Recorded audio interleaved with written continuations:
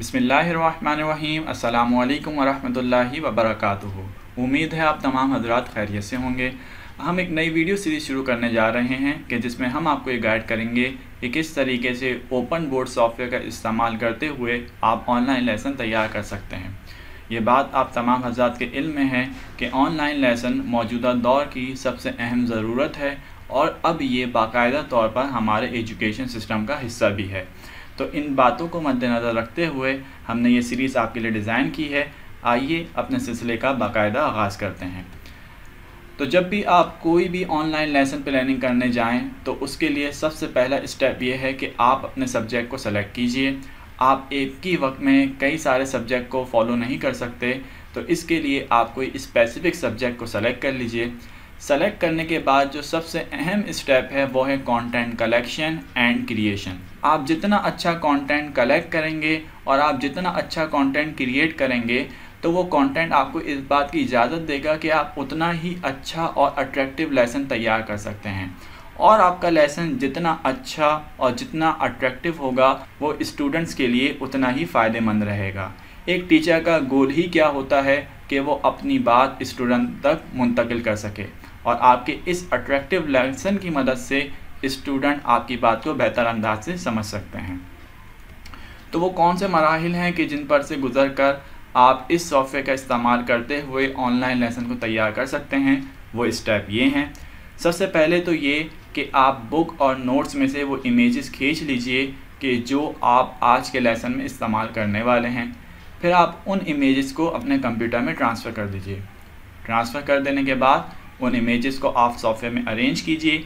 ये काम कैसे करना है, इसके लिए हम आपको इस ही वीडियो में गाइडलाइन फराम करेंगे। देन फाइनली आपने अपनी वीडियो को रिकॉर्ड करना है। और रिकॉर्ड करने के लिए आपको किसी फैंसी कैमरे की ज़रूरत नहीं है, बल्कि इस सॉफ्टवेयर में ही ऑप्शन अवेलेबल है जस्ट आपको माइक्रोफोन को इस्तेमाल करने की ज़रूरत है। जब आप रिकॉर्डिंग कर चुके हों तो फिर हम फाइनलाइजिंग की जाने बढ़ेंगे। फाइनलाइजिंग में सबसे पहले आप अपने रिकॉर्ड करदा फ़ाइल को सेव कर लीजिए। जब आप फ़ाइल को सेव कर चुकेंगे, उसके बाद ही जाकर आप अपनी फ़ाइल का रिव्यू कर सकते हैं। क्या आपने जो लेसन तैयार किया है, वो आपके तो के मुताबिक है? क्या उसमें कुछ चेंजेस लाना है, या वीडियो के किसी पार्ट को क्रॉप करना है? ये तमाम तर स्टेप आप रिव्यू वाले हिस्से में करेंगे और रिव्यू करने के लिए फ़ाइल को सेव करना सबसे पहला अमल है। देन फाइनली आप उसको अपलोड कर दीजिए और स्टूडेंट तक पहुँचा दीजिए। तो चूँकि हमारा ये सिस्टम दो मेथड के ऊपर है और आज की इस वीडियो में हम पहले मेथड को समझने जा रहे हैं, जी कि जिसमें जिस सॉफ्टवेयर को हम इस्तेमाल करेंगे वो है ओपन बोर्ड तो हम आपको बता सकते हैं कि ये सॉफ्टवेयर आप किस तरीके से हासिल कर सकते हैं। सबसे पहले आप गूगल पे जाइए और गूगल पे ओपन बोर्ड लिख के सर्च कीजिए। पहली हेडिंग की सब हेडिंग में डाउनलोड का ऑप्शन मौजूद है, उस लिंक पे आप क्लिक कीजिए। क्लिक करने के बाद एक पेज ओपन होगा। कि जिसमें आप विंडोज़ वाले वर्जन पर क्लिक करके इस सॉफ्टवेयर को डाउनलोड कर लीजिए। जब सॉफ्टवेयर डाउनलोड हो जाएगा तो आपके पास आपके कंप्यूटर के डाउनलोड फोल्डर में आपके सामने वो सॉफ्टवेयर आ जाएगा। उसको डबल क्लिक करके ओपन कीजिए। ओपन करने के बाद जस्ट आप नेक्स्ट करते चले जाइए। वो सॉफ्टवेयर इंस्टॉल होने की जाने आगे बढ़ता चला जाएगा। उसके बाद आप क्रिएट डेस्कटॉप शॉर्टकट के ऊपर चेक कर दीजिए। ताकि इस सॉफ्टवेयर का एक शॉर्टकट आपके पास डेस्कटॉप पर आ जाए और बार बार इस सॉफ्टवेयर का ओपन करना आपके लिए आसान रहे। उसके बाद आप फिर इंस्टॉल के बटन पर क्लिक कीजिए। ये प्रोग्रेस बार जब तक कंप्लीट होगी तो उस वक्त तक आपका ये सॉफ्टवेयर मुकम्मल तौर पर इंस्टॉल हो जाएगा। और इंस्टॉल होने के बाद आपसे ये पूछेगा कि क्या आप इस सॉफ्टवेयर को इसी वक्त लॉन्च करना चाह रहे हैं? आप इसको अनचेक कीजिए और अनचेक करने के बाद फिनिश के बटन पे क्लिक कर दीजिए। तो यूँ इस तरीके से आपका ये सॉफ्टवेयर आपके कंप्यूटर में इंस्टॉल हो जाएगा और इंस्टॉल होने के बाद डेस्कटॉप पर दिखाई देने लगेगा। तो इंस्टॉलेशन कंप्लीट हो जाने के बाद ये सॉफ्टवेयर कुछ इस तरीके से आपके सामने आ रहा होगा। आइए इस सॉफ्टवेयर का स्क्रीन प्रीव्यू देख लेते हैं। उससे पहले मैं ये एक बात बताना चाहूँगा कि दीगर सॉफ्टवेयर के बरक्स ये सॉफ्टवेयर फुल स्क्रीन पर ओपन होता है। इसका मतलब ये है कि इस सॉफ्टवेयर के ओपन होते हुए आप किसी दूसरे सॉफ्टवेयर को नहीं चला सकते। ये बिल्कुल इस तरीके से है जिस तरह आप गेम खेलते हुए किसी दूसरे सॉफ्टवेयर को यूज़ नहीं कर सकते। तो open board software full screen पर ओपन होने वाला एक सॉफ्टवेयर है। आइए इसका स्क्रीन प्रीव्यू ले लेते हैं और इसका इंट्रोडक्शन देख लेते हैं। तो ये सॉफ्टवेयर की मेन स्क्रीन है और आप देख सकते हैं कि ये सॉफ्टवेयर फुल स्क्रीन के ऊपर प्रीव्यू है। और सबसे ऊपर जो बार मौजूद है, इसको हम मेन्यू बार कहते हैं। जबकि बॉटम में जो एक बार आपको नज़र आ रही है, इसको हम टूल बार कहते हैं। टूल बार में सबसे अहम टूल हमारे पास पेन मौजूद है। इसके मुख्तलिफ़ कलर्स भी अवेलेबल हैं। जैसे कि इस वक्त ये रेड कलर पर है। मैं चाहूँ तो इसकी थिकनेस भी बढ़ा सकता हूँ। यहाँ ये ऑप्शन इसके लिए मौजूद है। और मज़ीद थिकनेस भी बढ़ाई जा सकती है। इसी तरीके से कलर चेंजिंग का ऑप्शन भी मौजूद है कि मैं मुख्तलिफ़ कलर्स में इस पेन टूल को इस्तेमाल कर सकता हूँ। यहाँ इरेज़र की मदद से मैं इसको इरेज़ भी कर सकता हूँ और इरेज़ ऑल के बटन की मदद से तमाम के तमाम पेन का लिखा हुआ कंटेंट में इरेज़ भी कर सकता हूँ। इसी तरीके से मेरे पास हाइलाइटर पेन है और हाइलाइटर पेन की मदद से मैं चीज़ों को हाईलाइट करके डिस्प्ले कर सकता हूँ। इसमें भी मेरे पास मुख्तलिफ़ थिकनेस के ऑप्शन मौजूद हैं। मैं अपनी मर्ज़ी के अतबार से थिकनेस सेलेक्ट कर सकता हूँ और चीज़ों को हाईलाइट करके बयान कर सकता हूँ।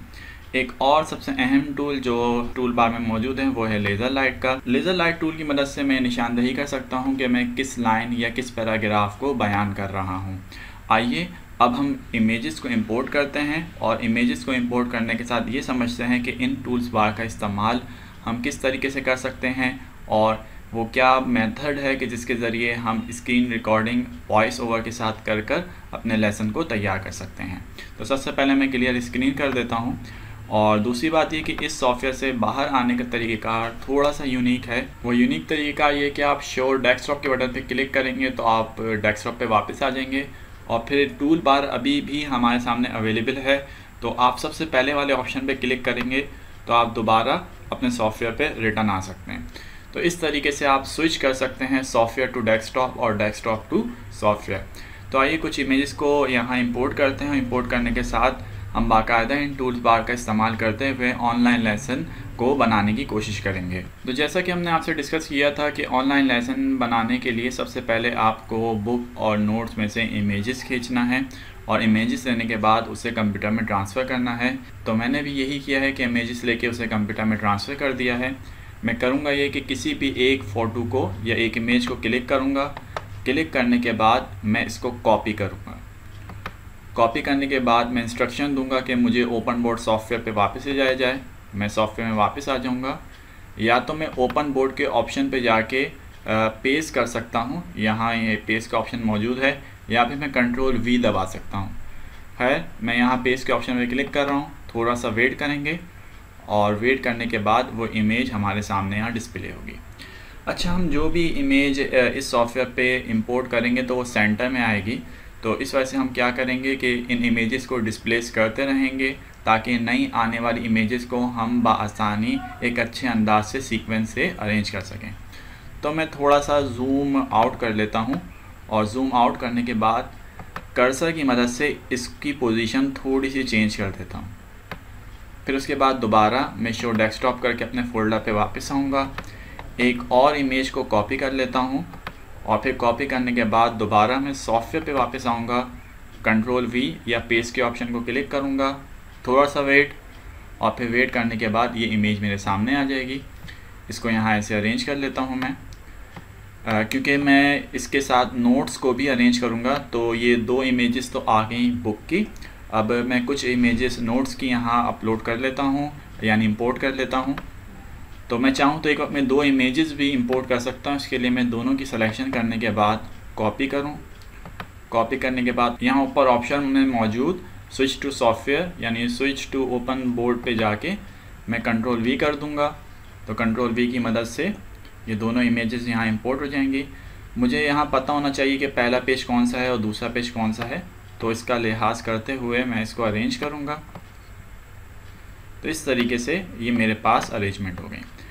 जब मैं तमाम तर अरेंजमेंट कर चुका हूँ तो उसके बाद मैं तैयार हूँ कि मैं अब अपनी वॉइस ओवर के ज़रिए एक बाकायदा लेसन को रिकॉर्ड कर सकूँ।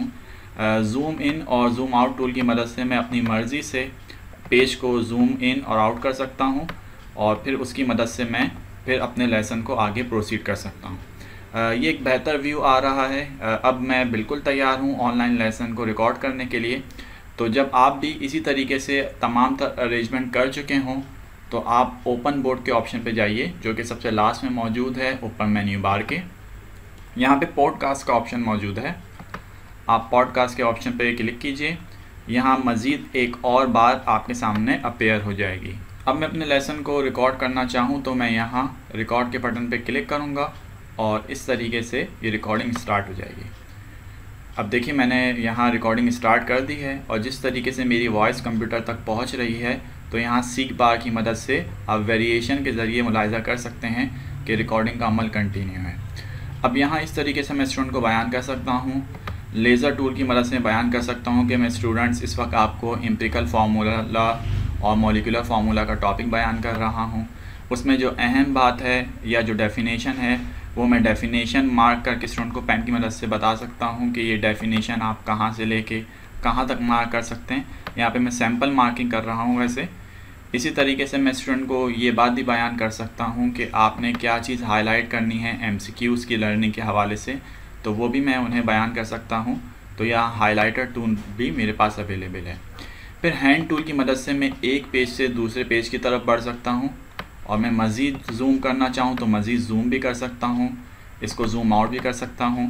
फिर इसी तरीके से मैं हैंड टूल की मदद से जब अपना लेक्चर कंप्लीट कर चुका हूँ बुक के हवाले से तो फिर मैं नोट्स से बच्चों को गाइडलाइन दे सकता हूँ। कि स्टूडेंट्स आपने नोट्स में से फिर कौन सा हिस्सा याद कर लेना है? और इसी तरीके से नोट्स के मैंने यहाँ पे दो पेजेस इंपोर्ट किए हैं वो दोनों पेजेस भी डिस्कस कर सकते हैं। जूम करना चाहें तो मज़ीद जूम हम कर सकते हैं। तो यहाँ पे आ, मैं आपको इंस्ट्रक्शन तो देता ही जा रहा हूँ लेकिन साथ में ये रिकॉर्डिंग भी कंटिन्यू है। अब मैं चाहूँगा कि रिकॉर्डिंग स्टॉप कर दूँ और आपको ये बताऊँ कि रिकॉर्डिंग किस तरीके से सेव होगी।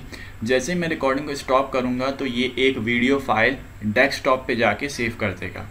तो जैसे ही मैं क्लिक करूँगा तो आप नोट कीजिएगा इस तरफ़, यानी कि पेज के बॉटम में लेफ़्ट हैंड साइड के ऊपर ये मुझे बताएगा कि इसने डेस्कटॉप पे एक वीडियो सेव कर दी है। आप लोग उस तरफ़ भी तवज्जो रखिएगा। ये मैंने क्लिक किया और यहाँ पे इसने ये ऑप्शन मुझे दे दिया। अब उसके बाद मैं शो डेस्कटॉप करूँगा और डेस्कटॉप के बाद मैं देख सकता हूँ कि एक वीडियो यहाँ पर आ गई है। अब इस वीडियो को हम प्रीव्यू करके देख लेते हैं कि ये वीडियो किस अंदाज से, कितने पिक्सल में और किस क्वालिटी की बनी है। तो मैंने अपनी आसानी के लिए इस वीडियो को फ़ोल्डर में कन्वर्ट कर दिया है। तो ये वीडियो कम अज़ कम दो मिनट की है और ये दो मिनट की वीडियो चार एम की है। तो अगर हम वैसे इमेजेस के ज़रिए कोई भी लेक्चर तैयार करना चाहें, यानी कैमरे के ज़रिए तो आप ये बात जान सकते हैं कि एक मिनट की वीडियो कम अज़ कम चालीस से पचास एम की हो जाती है। और यहाँ ये जो हमने लेक्चर तैयार किया है दो मिनट का, ये जस्ट फोर एम का है। तो इसको प्रीव्यू करके देख लेते हैं, इसका रिज़ल्ट कैसा है। ये देखिए वीडियो हमारे सामने प्रीव्यू होने जा रही है। अब मैं इस वीडियो को प्रीव्यू कर रहा हूँ और अब मैं साइलेंस रखूँगा और जो भी आपको ऑडियो आएगी, वो रिकॉर्ड हुई भी वीडियो से आ रही होगी। आप इसको सुन सकते हैं। मैंने यहाँ रिकॉर्डिंग स्टार्ट कर दी है और जिस तरीके से मेरी वॉइस कंप्यूटर तक पहुँच रही है तो यहाँ सीख बार की मदद से आप वेरिएशन क्योंकि मैं स्टूडेंट्स इस वक्त आपको इम्पिकल फार्मूला और मोलिकुलर फार्मूला का टॉपिक कर सकते हैं। यहाँ पे मैं सैंपल मार्किंग कर रहा हूँ। करनी है मेरे पास अवेलेबल है। फिर हैंड टू तो आपने मुलाहजा किया कि किस तरीके से हमने इस सॉफ्टवेयर का इस्तेमाल करते हुए बेहतर अंदाज से ना सिर्फ़ इमेजेस को सॉफ्टवेयर तक ट्रांसफ़र किया, बल्कि इसमें वो तमाम के तमाम टूल्स मौजूद हैं जो किसी भी एक टीचर की रिक्वायरमेंट है लेसन को बयान करने के लिए। जैसे कि हम बोर्ड पे बयान करते हैं तो उसके लिए हमारे पास मार्कर या अगर हम प्रोजेक्टर पे कोई चीज़ बयान करते हैं तो लेज़र लाइट का ऑप्शन मौजूद होता है। तो इस सॉफ्टवेयर में वो तमाम फैसिलिटीज़ अवेलेबल हैं जो किसी भी टीचर की रिक्वायरमेंट है। उम्मीद है ये तमाम तर चीज़ें आप लोग ने बेहतर अंदाज से मुलायजा की होंगी। आखिरी चीज़ ये डिस्कस करनी थी कि इस सॉफ्टवेयर को क्लोज़ करने का तरीक़ाकार भी थोड़ा सा मुख्तलिफ़ है, उसको भी सीख लीजिए। आप टूल्स बार की मदद से जो सबसे पहला आइकन है उस पर क्लिक कीजिए ओपन बोर्ड पे वापस आइए। ये जो पॉडकास्ट की बार खुली है, सबसे पहले आप इसको क्लोज़ कर दीजिए। ओपन बोर्ड के ऑप्शन पे जाइए पॉडकास्ट पे दोबारा क्लिक कीजिए, ये ऑप्शन डिसअपेयर हो जाएगा। देन आप ओपन बोर्ड पे आने के बाद क्वाइट यहाँ क्लिक करेंगे तो आप इस सॉफ्टवेयर से एग्ज़िट कर सकते हैं। तो यहाँ एग्ज़िट करने का तरीका आम सॉफ्टवेयर से थोड़ा सा मुख्तलिफ़ था तो इस वजह से मैंने उसे भी डिस्कस कर लिया। यहाँ हमारी वीडियो एंड होती है वीडियो पसंद आई हो तो इसको लाइक कीजिए शेयर कीजिए, हमारे चैनल को सब्सक्राइब कीजिए, हमें इजाज़त दीजिए। असलकम वरहमल वर्का